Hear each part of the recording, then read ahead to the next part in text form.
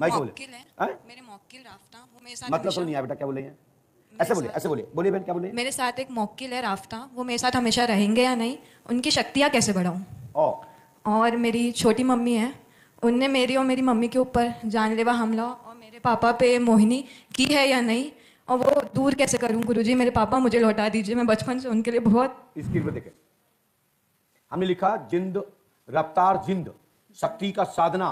मुसलमानी शक्ति आप चाहती हैं जिसे आप पति के रूप में चाहती हैं क्योंकि वो आपके साथ निरंतर पति के रूप में ही रहता है जो आपके साथ रिलेशन संबंध स्पर्श रखता है। जी। आप चाहती हैं कि मेरी किसी पुरुष से शादी ना हो मेरे जीवन में वही रहे। जी। मसोलो है ना? जी। आपने किसी मजार से ये शक्ति प्राप्त की है? वो शक्ति निरंतर आपके साथ रहती है। कभी किसी एक लड़के से आपका लव हुआ करता था? वो लड़का किसी आपको मुसलमानी मजार पर ले गया था? वहाँ से उसने मोहिनी वसीकन डाल अपने देवता आपके ऊपर चढ़ा दिए हैं। उसने नहीं किया। वहाँ से चढ़ गए हैं। वो आपको वहाँ मजार पे ले गया था। और इसलिए गया था कि शक्ति का साक्षात कैसे कहते हैं? आपको इसलिए वाला गया था क्योंकि आपका घर वालों की तरफ़ मन ना हो आपका किसी तरह डिस्टर्ब ना हो आप हमेशा के लिए मेरी बने और ईश्वर पर विश्वास हो या अल्लाह पर विश्वास हो। इसलिए वो एक मजार ले गया था। वहाँ से उसने आपकी ब्रेन वॉश किया और आपके ऊपर मुसलमानी शक्ति चढ़ा दी और वो वहाँ से एक जिंद प्राप्त हुआ उस मजार से। फिर उसको आपने जिस लड़के को आप प्यार करते हैं उसको आपने छोड़ भी दिया है। जी। लेकिन वो जिंद उसी समय आपको सम्मिलित हो गया। आपके शरीर में आ गया और आपके साथ समय समय पर ज्ञात कराने लगा कि मैं तुम्हारे साथ हूँ मैं तुम्हारे बिस्तर पर हूँ मैं तुम्हारे भोजन में हूँ मैं तुम्हारे घूम रहा हूँ मैं तुमको जो फील करा रहा हूँ वो मैं करा रहा हूँ। तो आपको लगता है कि वो रफ्तार जिंद मेरे साथ रहेगा वो जिंद मेरे साथ रहेगा तो हमारे जीवन में बहुत सारी शक्तियाँ जागृत होंगी और दरबार भी चला सकते हैं लोगों को जन सेवा कर सकते हैं। यही भाव है ना? जी। चलिए आइए देखिए स्क्रीन पर। आपको ये शक्ति प्राप्त होगी लेकिन आपने उसको स्वीकार किया है तो हम हटाने वाले होते कौन है? लेकिन संभवतः में ये आपके जीवन में रहने से अधोगति होना तय है देवगति नहीं होगी। आप श्रीवास्तव कुल से हैं। जी। आपकी मम्मी ब्राह्मण कुल से हैं। जी। आपने प्यार मुस्लिम कुल में किया है। जी। अब आप मुस्लिम संप्रदाय में रहकर एक जिंद के साथ अपना जीवन यापन करना चाहते हैं तो जो अपना अपना शौक है कोई डॉगी से शौक करता है कोई घोड़े से करता है तो कोई कछुआ से करता है कोई छिपकली से करता है तो कोई सर्प से करता है तो कोई विषखापड़े से करता है। लेकिन मैं तो नहीं कहूँगा कि ये आपको करना चाहिए। एक बेटी हो हम तो चाहेंगे कि आपको अच्छा सदबुद्धि आए और मैं इसको दूर करा सकता हूँ यदि आप चाहेंगे तो। आपके जीवन में एक अच्छा बर आए अच्छा लड़का मिले अच्छा जीवन साथी मिले हिंदू का धारी लड़का मिले श्रीवास्तव कुल में मिले ब्राह्मण कुल में मिले वैश्य कुल में मिले चारों वर्णों में कहीं भी मिले तो ये अच्छा है। लेकिन आपको प्यार है पूर्व जन्म की कोई कहानी जुड़ रही है तो मैं नहीं कह सकता हूँ। आइए आपने दूसरा पॉइंट कहा कि हमारी चाची ने या ताई ताई ने कुछ कराया है तो सुनिए। स्क्रीन पर आप देख लीजिए। और इसके बाद मैं बता देता हूँ। देखिए आपके घर में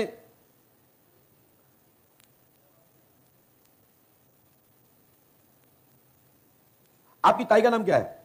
ज्योति कुमारी हाँ? गुप्ता ज्योति गुप्ता। उनके पति का नाम क्या है? अजय कुमार श्रीवास्तव। हाँ? अजय कुमार श्रीवास्तव। अजय कुमार श्रीवास्तव। भाई साहब खड़े हो जाइए। क्या लिखा है ये? लिखा है? कहाँ लिखा है। बैठ जाइए। साथ ही आपने अपनी पत्नी को त्याग रखा है पत्नी में प्यार प्रेम नहीं है। बोलो हाँ या ना? माइक से बोलिए। नहीं है आपकी जेब में भी एक पर्ची निकाल दीजिए। ऊपर निकल के आ जाएगी आपसे आप। ये आ गई। खोल दीजिए उसको।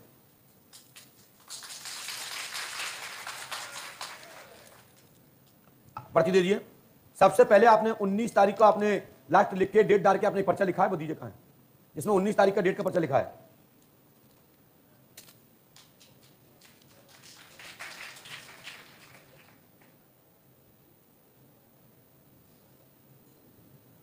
आपको 19 दो दिख रहा है भैया? जी हाँ। आप सोच जब मुझे तारीख पता है तो आपके विषय में पता सादर नमन गुरु जी समाचार इतने पढ़ेंगे तो हो जाएगा कल्याण। तनाव खत्म होगा घर में सुख शांति होगी पंडों का दाम पाँच वर्ष करो। आप अपनी पत्नी को प्यार देना चाहते हो या नहीं? देना चाहते देना चाहते हो? और नहीं देना चाहते तो आपकी पत्नी बहुत दूर निकलने वाली है। पत्नी आई आपकी? नहीं आई नहीं आई है। आपकी पत्नी आपके ही मित्र आपके ही बीच का नमीन के साथ जाना चाहती है उससे शादी करने की इच्छा रखती है। क्यों रखती है? क्योंकि आप पत्नी का प्यार पत्नी का दाव नहीं रख रहे हैं और वो पत्नी आपके प्यार के लिए तड़प रही है। जब आप प्यार नहीं दे रहे हैं तो उसका दिमाग बाहर की ओर जा रहा है। तो आप क्या किसी नमीन को जानते हैं? नहीं जानता। नहीं जानते। गुड़िया जानती है? पूछो। ये जानते हैं। माइक से बताइए। नवीन कौन है? जी जानती हूँ। नवीन कौन है? वो उनके साथ ऑफ़िस में थे उनके सीनियर थे। मम्मी के। पापा भी जानते हैं। समझ में आई? अभी कुछ नहीं बिगड़ा है। यदि अपनी पत्नी को लेना चाहो तो अभी कैच कर लो। नहीं पत्नी आपसे बहुत दूर निकलने वाली है। नहीं बाद में मत कहना। लेकिन ये लड़की आपको बहुत प्यार करती है, आपके ही लिए जीती है, आपको ही याद रखती है, यहाँ तक कि मम्मी को भी छोड़ सकती है। लेकिन आप पत्नी को प्यार करते हो तो आप अभी भी मैं आपको टाइम दे रहा हूँ, ले लीजिए, नहीं तो पत्नी नहीं मिलेगी। और जिस पर आपको डाउट है ज्योति पर तो आपका शंका जिस पर है, उससे दूर रहना चाहिए। मैं नहीं कहता कि ज्योति ने कोई चक्कर कराया यह बात सत्य है कि पर्चे में आया कि ज्योति नाम की व्यक्ति पर आपको शंका है किसने कराया है तो शंका वाले व्यक्ति से किसी के प्रति भी शंका हो उससे कई गुना दूर हो जाना चाहिए। नहीं तो धोखा प्राप्त होता है। इसलिए मैं इतना ही कहूँगा शंका वाले से दूर रहिए। ठीक है? ज्योति आपके लिए ठीक नहीं है और उसी के चक्कर में आप पड़े हैं। राइट आपने ज्योति के चक्कर में तो अपनी पत्नी को छोड़ रहे हो ना? माइक से बोलिए। जी हाँ। है? जी हाँ। धन्यवाद। जाइए। आपका शरीर निरोग रहेगा धंधा पानी कारोबार उन्नति होगी कर्ज मर्ज नहीं रहेगा संपूर्ण परिवार निरोग रहेगा घर में तनाव नहीं रहेगा आशीर्वाद है आपके यही प्रश्न है। जाओ। हैं? दरबार चला सकती हो। बाइक से बोलो चलाना चाहती हो तो मैं पंडों के शरण में आ जाओ ना तो ये सब खत्म हो जाएगा नहीं जिंद जिंद मौके कहाँ? सही नहीं है मेरे लिए। सही नहीं है। जो मौखिक नामक जो जिंद है सही देखो हर शक्ति सही है। पिचास भी बताते हैं पचास भी दरबार चलाते हैं जिंद भी चलाते हैं खबीस भी चलाते हैं ब्रह्म राक्षस भी चलाते हैं ब्रह्म गौड़ भी चलाता है और देवता भी चलाते हैं नाथिंग चलाते हैं बंदीला चलाते हैं दूल्हा देव चलाते हैं हीरा भूमिया चलाते हैं कारस चलाते हैं हीरामन चलाते हैं है ना? नीम वाले चलाते हैं सब चलाते हैं। और इतने हनुमान जी भी उड़ते होते हैं रावण जब पुल बाँध के राम जी जाते हैं लंका पार करके सेना जाती है उते रावण उसमें जो चल के आता है। हनुमान जी उड़ के जाते हैं उते कालनेम भी उड़ के जाता है। तो शक्ति दोनों के पास होती है। बस एक अधोगति वाली होती है एक देवगति वाली होती है। तो देवगति से आपका कल्याण होगा अधोगति से तुम नरक में जाओगे। बस जाइए। शक्तियाँ दोनों हैं। शक्तियाँ दोनों जिसको चॉइस जैसे आपको आदमी, लड़का पसंद नहीं है, आपको जिंद से ही शादी करना है, उसी के साथ रहना है, उसी को पत्नी के बन के रहना है तो नहीं है, मुझे क्या दिक्कत है? लोग तो डॉगी के साथ भी रहते हैं। चलो जाइए। मैं ये नहीं कह रहा हूँ, अरे कई लड़का डॉगी के साथ पति, पत्नी बन के रहते हैं, कई पति बन के रहते हैं। दुनिया में क्या नहीं चल रहा? ये स्माइल स्मेल ये गंदगी, ये दरंगी ना मालूम कहाँ कहाँ फैली है। रोज ऐसा कुछ न कुछ यूट्यूब पे देखने को मिल जाता है। मैं नहीं कह रहा हूँ यूट्यूब कह रहा है गूगल कह रहा है। फलाने व्यक्ति ने कुत्ते से शादी की। फलानी लड़की अपने कुत्ते को लेकर भाग गई। अब कुत्ता कोई भी हो सकता है। चार पैर वाला हो सकता है, दो वाला भी कुत्ता हो सकता है। कुत्ता कुत्ता होता है। लो, हंस रहे भाई। मैं झूठ नहीं बोलता। सर्च कर लीजिए। गूगल में सर्च करिए। कितने कुत्तों के साथ भाग गई। और ऐसे कुत्तों के साथ भाग गई जो कुत्तों को तुम्हारी ढरी पे कोरा मिलता था, उस कुत्ते के साथ भाग गई कई लोग कुत्ते के साथ भाग जाती हैं। कई बार मालकिन भाग जाती हैं तो कई मालकिन के बच्चे भाग जाते हैं। कहीं वहाँ पर कुत्ते ही पसंद आ जाते हैं, कहते, तू मालिक बन जाओ मेरा मालिक कुत्ता बन जाएगा। इसका अर्थ मीनिंग अलग अलग है। इसका अर्थ गलत मत निकाल लेना पसंद आ गया, दिल लगा तो क्या मतलब? किसी से भी लग सकता? कहते, दिल लगा परी से तो कैसे कहते हैं? हाँ मामा जानते हैं, क्योंकि बुंदेलखंडी है ना, दिल लगा गधी से तो परी क्या चीज़ है? मामा, आपको धन्यवाद, आज आपने हमारी कड़ी पूरी कर दी। मामा इंटरेस्ट रखते हो आप भी? माइंड को शिकायत करनी पड़ेगी।